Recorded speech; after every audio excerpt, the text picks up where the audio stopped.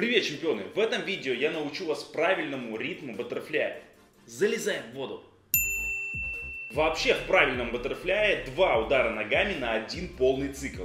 А в этом упражнении мы сначала отработаем один правильный удар, а потом подключим самый сложный, второй. Упражнение руки брас, ноги дельфин как раз таки учит нас правильному ритму. И первый удар мы будем делать тогда, когда после вдоха вы вытягиваете руки вперед и задаете вашему телу ударом ногами хорошее скольжение и скорость. В момент, когда вы вытягиваете руки вперед и идет хлесткий удар, последите за положением вашего плеча. Это там, где у вас бицу.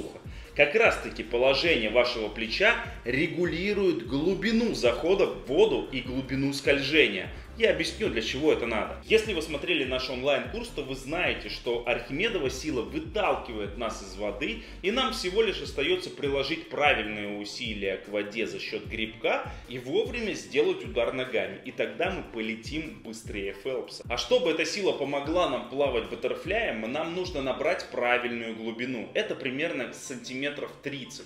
Для любителей можно и побольше, чтобы попробовать, как она вообще выталкивает ваше тело из воды. И здесь самое главное, не сначала всплыть к поверхности, а потом сделать грибок, а из самой крайней нижней точки немножко прогнуться в пояснице, начать делать грибок брасом и начать сразу поднимать голову наверх.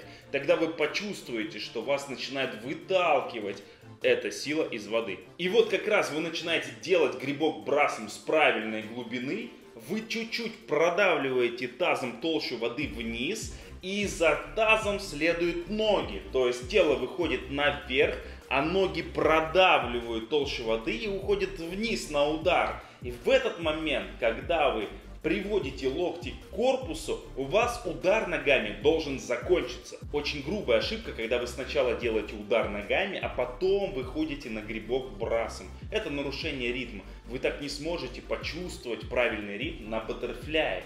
Ведь баттерфляем можно плыть как 500, так и 1000 метров без остановки и комфортно себя ощущать при условии, что вы ловите правильный ритм. Как говорил один нудный или мудрый тренер, баттерфляе есть две фазы отдыха.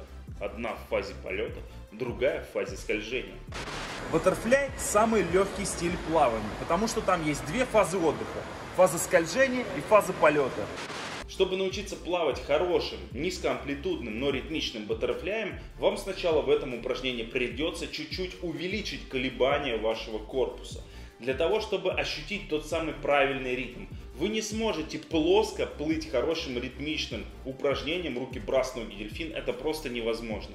Для того, чтобы почувствовать, постарайтесь глубже зарываться и выше выходить наверх. И используйте ласты для начала. А если получилось с ластами, то можно попробовать и без ласт. Чтобы начать тренироваться правильно, попробовать правильную связку упражнений, подписывайтесь в наш паблик в Телеграме, там вы найдете тренировки на все уровни плавания. Давайте еще раз кратко. Исходное положение. Вы лежите так, чтобы ваша голова была на уровне где-то 30 сантиметров. Ваши ноги находятся у поверхности воды.